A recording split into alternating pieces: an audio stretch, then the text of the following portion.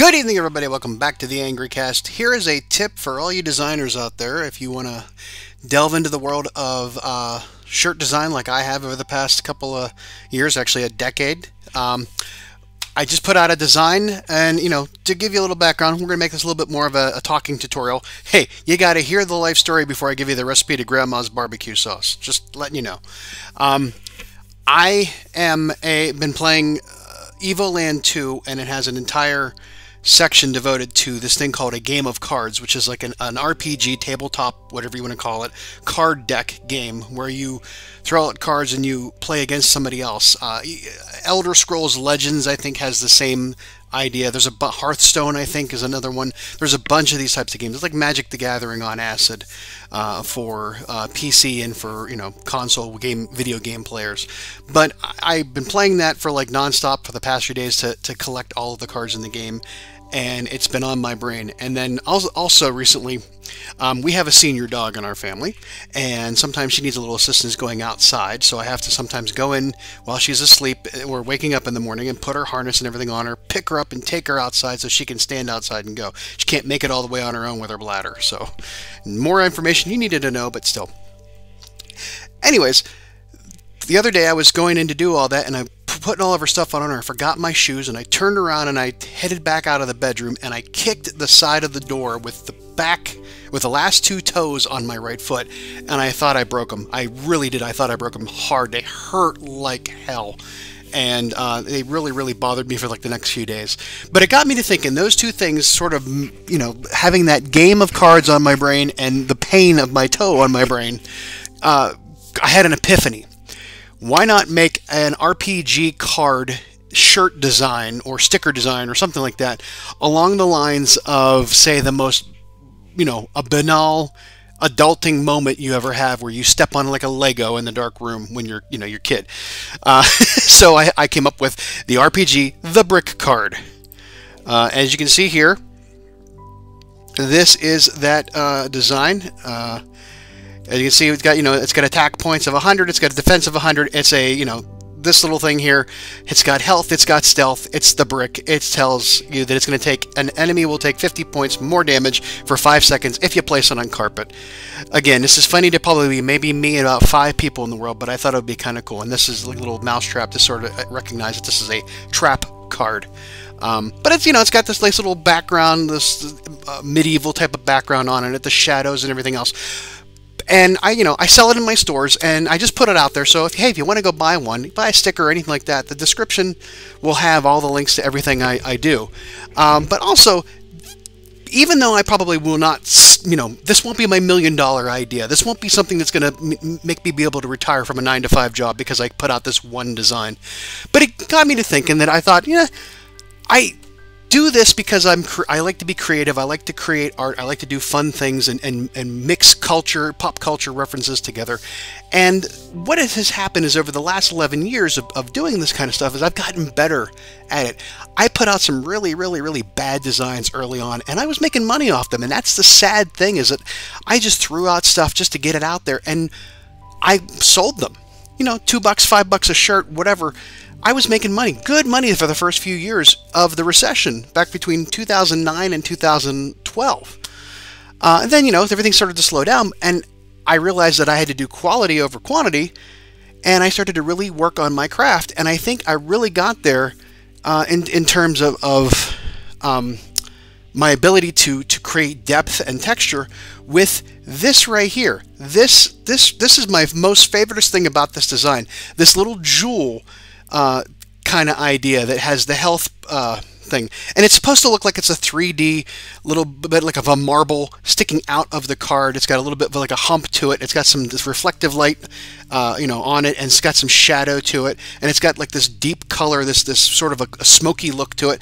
And I thought this is really good because I have never been able to do stuff like this. I could have put the same design out there with just a flat color and probably been like okay with it five or six years ago. But now I've started to wanted to to really hone my craft as a digital artist, and I've had no training whatsoever. So this is just me farting around for hours on end over the years and coming up with stuff. And this is what I've come up with. And I want to show you how to get this same kind of a look because it's not that hard. these types of things, if I were to look at them and think, how could I recreate that? I would think of it as being something impossible for me five years ago to figure it out but I can do it today and I'm going to show you in, in, just some quick easy steps and I know I'm taking a long time to talk about this but I want to get all the information out there that you you know you can have to understand the process and how I've grown as a digital artist and how you can too if you really want to do these types of things. Uh, the main thing to understand is we are using of course paint.net. Now paint.net is a free program if you've never seen me use it before you've never heard of it. It's like GIMP or anything like that like that. It's it's a lot like Photoshop and then it has a lot of uh, effects and stuff that you can do with it, but it's also free. So, you know, you are getting what you pay for, but Paint.net has a great big wide community of developers who have put out their own plugins for effects on stuff, and I've used lots of them. Um, there's there's great stuff like stripping the primary color from like if you have a black and white photo and you just want the outline, you take out the white, or um, outlining or the, the uh, some effects like making things from circle like you know straight up and down like distort them to the polar axis. I've used that a lot for say uh, anything I have like a starburst effect on it. But this here this this jewel this big circle right there I'm going to show you how to do that real quick. So let's go to a blank canvas if you will. And we're going to do this in layers and that's the other great thing about paint.net is you don't have to just like Paint, MS Paint, you have one flat layer and that's it. You can't do transparencies. In Paint.net, you can have transparency. You can have an, a layer that is like nothing. The background can be empty and you can add levels, layers to it and then add elements. And each element is going to be its own little layer in this design. So first we have the background itself, which is just this white canvas. Then we have uh, what you would think would be the outer circle first, but no, we're going to do the outer background circle and then the shadow for the um, circle for the gem. Then we're going to have this inner color for the background of the, the inner circle, which then comes up here, which I should have named this inner circle. And I highly suggest that if you are working with layers, you name your layers accordingly because uh, th this card, this, this design right here, was probably about 30 layers, different layers. Each element was its own little layer, and then you combine them or you move them up and down depending on how you want the, the effects to sit on top of each other. Uh, so that we have the inner circle, and then we have this inner circle shadow, which will, this is the real kicker to this thing. And this layer 10 is where I'm going to show you how to do that inner circle shadow. Then we have our text, and then we have highlights for that inner circle. So let's take a look at everything we want to do. So the first thing we really want to do is we're going to skip the, the background layer, and we're going to do the outer circle. And here we can see the outer circle as it is. That's basically what's the shapes key, which allows us to pick different shapes like so. And then we just have our color, which would be our primary color is black, and our background color is, our secondary color is, is empty right now because we want to use that to show you the, the, the shadow later on. But this here, all you got to do on this outer circle is just make a circle. You know, that's all you got to do. Boom. And you can do it as an outline. You can do it as a filled shape. You can do it as a you know your secondary color as an outline, as uh, with the filled shape. Fairly simple. And what I did was I took this out to the point where I can see all the four corners or the cardinal directions of the circle equidistant from the center because I want to have this thing be centered in the page so everything looks uniform. And that is basically saying that I have a 12 by 12 canvas 2400 pixels at a 200 resolution and which is really good for shirt designs I think at least that's the minimum or at least the, the recommended but I would take this thing to the middle right there to the number 6 middle and then I would find the 6 here and I would take it down to there and then I would just keep working this thing until I got it to where I want it and then that's my circle. So let's get rid of that. We don't need that anymore. Just delete, delete, delete. Layer visibility, get rid of it. Now the next thing we're going to do is that background. Now uh, the reason I say we do the background second, even though it's our layer that's, that's right above it, is because we want this layer to exist beyond the border of the circle so that we don't have any edging showing from below. And all we've done here is taken our magic wand tool into the outer circle, take, take it to this way. Now I have a tolerance level that, as you can see here, it begins to show, okay, the white space, and then we've now bled into where it's not quite dark, but it's, you know, it's into the black circle. We want to have it extend beyond. We want this out, this circle outline to exist on top of, lay it flat down on top of that circle, that, that color that we're going to put in.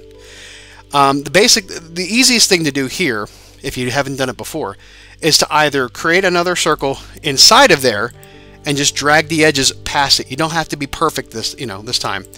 We just like beyond there. And we can, like I say, if I actually pick this color, you can see here, we'll just go vip and exists there. We're just taking it beyond that level so that it sits nice and snugly underneath the outside of that uh, the inside of that circle and doesn't show through. And that's all we and then we just decided we've just picked the color we want. Now I, I always do, do black and whites first. So this one here would be completely white and then I would add color later. And how I would add color later, let's, I can show you how that's going to be. Uh, one second. So let's say that's black here, and we're going to invert that color. And then we want to just say, okay, how, what color do I want it to be? I want it to be sort of a copish, yellowish beige color. So we're going to go into our adjustments and do color balance, and we're going to pick it to about a yellow of some sort. And then, and as you can see, the color balance always covers like the cyan, magenta, the yellows, and the red, green, blue. Like your, your CMYK and your RGB uh, ideas. You can slide these back and forth, make it as you know deep and blue. I can tell you right now that if I have a black, um, uh, if I have a black screen and I do the adjustments and the color balance red three times, it will be fully red. You don't have to do any other. This you know this doesn't have to be there. Just do red three times and you'll have the the the basic red color, which is if you look at it FF0000. That's the hexa hexadecimal color um, code. 00FF00 is green, I think, and 0000FF is blue. All computer code. Learned that back in HTML when I was, you know, doing web pages back in the 90s. Uh, so let's take that back to black, and then of course we're going to get our red color. Boom. All right, we got our red color. Let's say that's the color we want. And see how it exists on the entire canvas, and then we have the outer circle Here's the outer circle. We take that up the tolerance to a good amount that doesn't take the entire screen, but just that much. And then we can see it, it bleeds over. And then we go back to our other layer. Now we have everything but the circle and the inside that circle. And then we just say, I want to cut that. So Control X or uh, Edit, Cut, which is Control X. Now we have that circle as exists just inside of it. Okay, so that's that's how you know that's how you get that color. And I'm going to get rid of that because we don't want to have that uh, affect us. Okay, that covers the backgrounds, and then we have the uh, the in, the inner circle. Now the next color we see here is red, which is our as you can see our color that exists behind, and it, you can see how choppy it is and how jagged it is? Well, that's because I have an inner circle that I made the exact same way as the outer circle, just smaller, slightly smaller, to give us this sort of uh, inner circle, outer circle, two different color tone. And I apologize, my mouse scroll wheel does not want to work with me here. Uh, like I said, we want to keep the inner, the, the background color below the outline so that it covers, bleeds over that edge so we don't have any uh, missing pixels. Then we want to add in our text which is this is just Times New Roman text, and I, I have gone through and took it, taken my magic wand, and on the text highlight each one, circle, lasso, however you want to call it, individually, and made sure that it exists right smack dab into, you know, as close as it can be for the way the um, text lined up on that. If I made it a couple pixel, like a couple points different, uh, size, it might have lined up better, but that's good enough for me. Oh my gosh, this stupid thing. Let's just zoom out. Zoom out the window. There we go. So there you go. That takes care of that. And then we have highlights and we have the shadows. This is, if I were to do a 2D image, flat, no depth, no texture, nothing at all, this is how it would look on that card. But I want to make it look like this. Closest to this as I can. So, First thing we do is this is a, this is not a circle. It doesn't exist in a 2D. It exists in a 2D space, but we're trying to represent three dimensions. So now we have all of our layers here. Let's go down and let's take this shadow. And all I did was I took this inner background circle and I duplicated here, duplicate that layer, and that just makes the same layer twice. So now you can manipulate that same exact layer and make it do something different. So I take that inner circle background color and then I zeroed out the color itself on the hue saturation. The hue saturation is a great little tool because it allows you to make any of your layer colors brighter. Whoops, I have, probably have something. Here we go. Uh, it makes it like allows it to become brighter, changes the color. You can change the hue on it, all kinds of stuff. You can make it slightly, I can make it a little bit, a little bit more red or a little bit more yellow or blue, however I want to do it. You can take it down to being very pale and dull, dark color. We can make it very vibrant. Or you can also make it completely dark, completely white, or somewhere along, shaded along that, you know, that um, spectrum. But for now, I like the red because we're going to do a lot of things to it, and I don't want to change that color until I'm fully done with the design and ready to say I need to tweak it one way or the other. So we've made, so going back, we have now duplicated that and made this shadow layer. And then all we have to do is just drag the shadow layer down just ever so slightly, ever so slightly to exist in a separate space.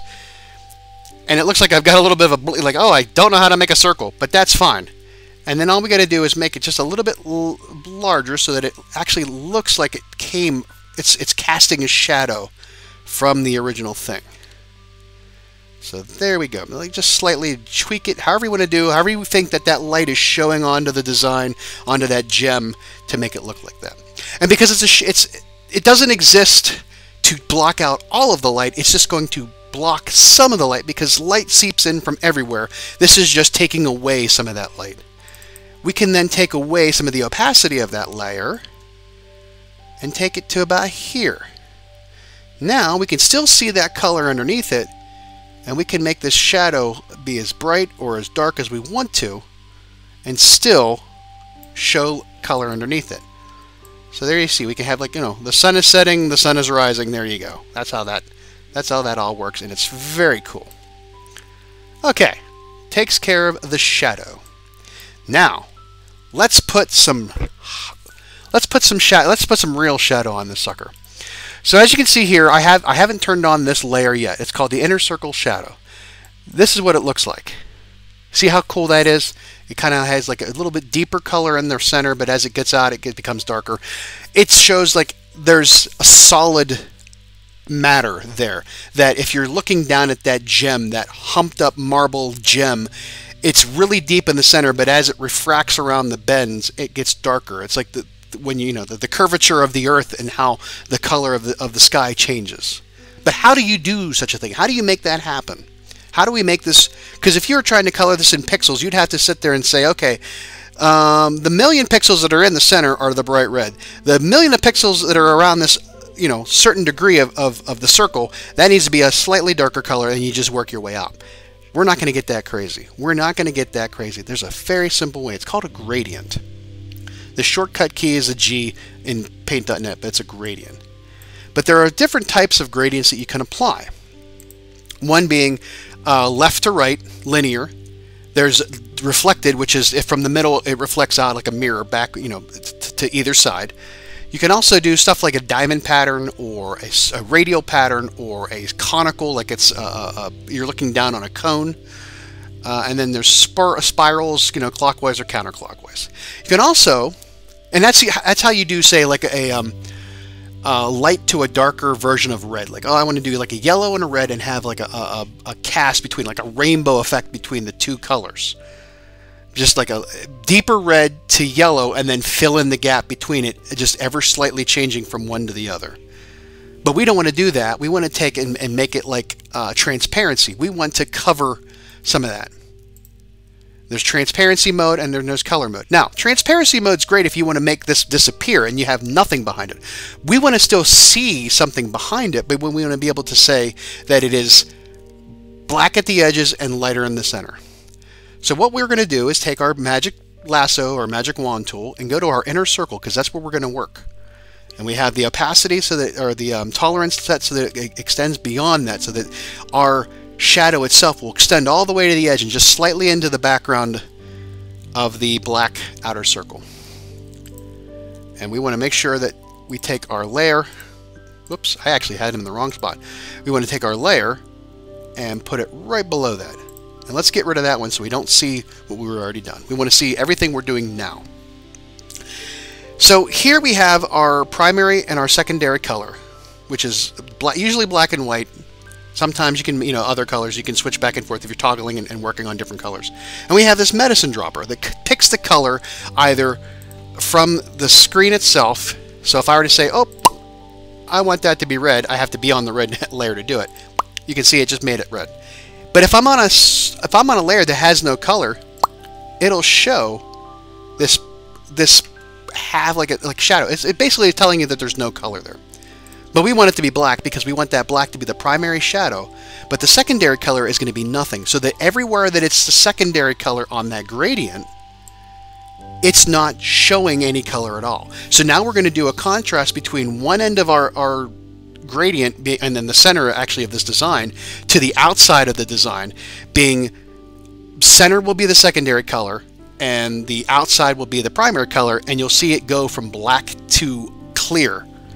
And that's how we're going to get that done. So I'm going to go all the way to the center point of this design which is 6 and 6 because it's a 12 by 12 canvas. And I'm going to just plop my crosshair right there on the 6 and the 6 and put that down. And now we're going to go all the way out and it would help if I would have actually turned on the layer so you can see what we're talking about Boop! Now, I did it backwards. Primary color has to be empty, and the secondary color has to be the... let's try that again. Okay. So I'm going to take it all the way to the crosshairs, right to the center. 6 and 6 because it's a 12 by 12 canvas. And then you can see as we start to drag it out and make it bigger, the concentration of clear versus black gets ever so slightly, ever so slightly out there like that. The opacity, if I take it all the way up, because we, we, we want to, we're also going to make it a little bit less opaque. But there you go. We can take it all the way in. The 6 is the middle. We can make it as deep color if we want to. I want to take it to about, I'm going to take it to the edge of that circle, kind of. And it can be anywhere along this line. It's going to be uniform because it's a spiral. Or, I'm sorry, it's a circle. Or uh, I'm sorry, they call it radial, but you know, you know what I mean. So there we go. Now, that's if that's too dark, but we like the, the, the depth and the color of it, we can take the opacity down and just make it a little bit, uh, boom. There you go. Look at that.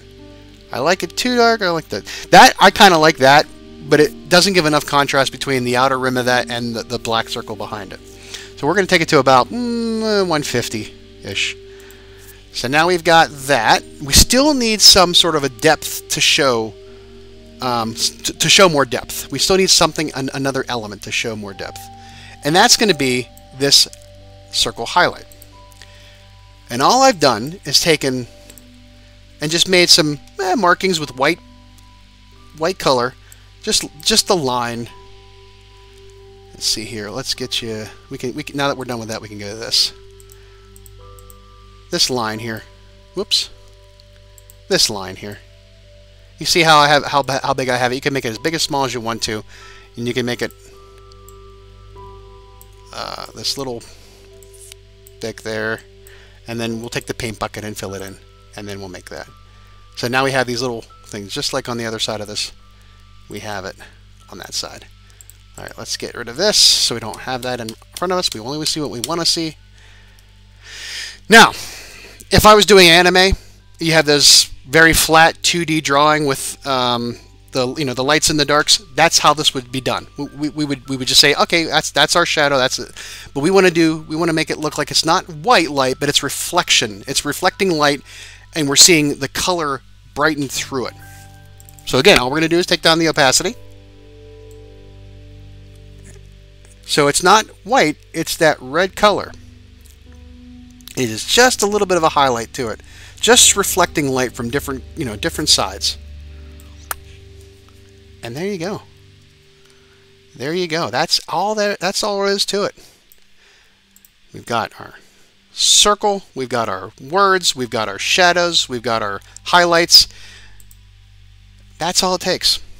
That one element, that one element was what One, two, three, four, five, six, seven, eight.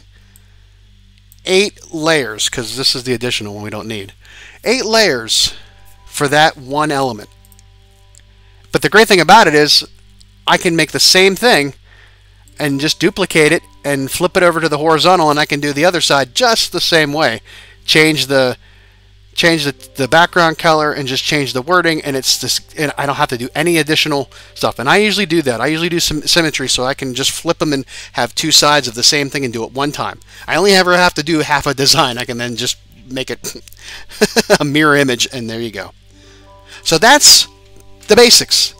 And again people put a lot of effort into their work and I have gone from putting in very minimal effort to doing these designs to hours upon hours just on individual elements. Um, there's a design I did called, you know, This is Fine, which is a 20-sided uh, die that is being attacked from all sides. It's on fire. It's on a background. It's got all kinds of stuff. And I actually have probably about 100 layers on that because every little individual element, each each weapon that was going into the die had a different color. You know, the the shadow, the light, the handle, the the blade, everything else. Those all became individual layers, and there was a lot of hours racked up on that. And your designers that are out there putting making T-shirts, if they're doing good work, they're putting in tons of hours, and they deserve they deserve the praise that they do. Uh, and you supporting them as small business owners is a great way to show how much you like it. So if you want to, you can buy the brick on TeePublic and Redbubble. I will put the links in the description of the video itself. And you can have it for yourself. You can have it on a sticker. You can have it on a, a phone case. You can have it on a mug. You can have it on a shirt. You can have it on a magnet. Anything like that you like. It's great for anything.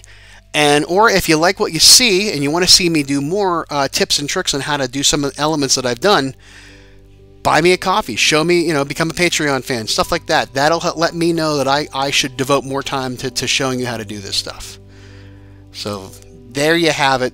We've just done one small element of this entire design. I've got three hexes, you know, three hexes the same type of way. I've got these individual bar, the brick itself, the shadow and the clouds, the same concepts used again and again. Shadow and light on this one, on the scroll, the little mousetrap here, all this little stuff. This entire back card has a gradient attached to it because it goes from lighter gray to darker gray. That's how that works. So there you go we've shown you how to do it. You can go out there and you can test yourself. Again, paint.net. It's getpaint.net as the website. I'll put the link to it in the description. Everything you want to know. Um, you can find the, the plugins out there. Some great stuff. It's it's all good in the hood out there. Um, again, not enough can be said about designers and, and the work that they do. Uh, and, and, and if you don't even have uh, like a Photoshop or Paint.net or anything like that, people who draw these by hand that do them by color by you know pencil and, and do that work they put a lot of hours in and they deserve the accolades and the praise that they do. So support designers in that way.